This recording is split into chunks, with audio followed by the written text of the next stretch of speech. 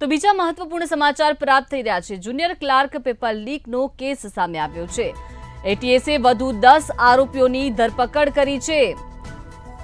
Junior clerk paper leak મામલે વધુ દસ આરોપીઓની ધરપકડ કરવામાં આવી છે. ગુજરાત એટીએસને મોટી સફળતા હાથ લાગી છે.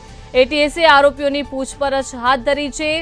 મહત્વનું છે કે હાલ દસ આરોપીઓની ધરપકડ કરવામાં આવી છે. ગુજરાત એટીએસને વધુ દસ આરોપીઓને ઝડપી પાડ્યા છે. જુનિયર ક્લાર્ક પેપર લીક કેસમાં વધુ દસ આરોપીઓને ઝડપી પાડવામાં આવ્યા છે.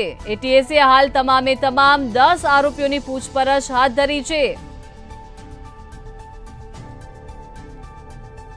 તો જુનિયર ક્લાર્ક પેપર કઈ રીતે લીક થયું હતું અને આ લીક કેસમાં કોણ કોણ સંડોવાયેલા હતા?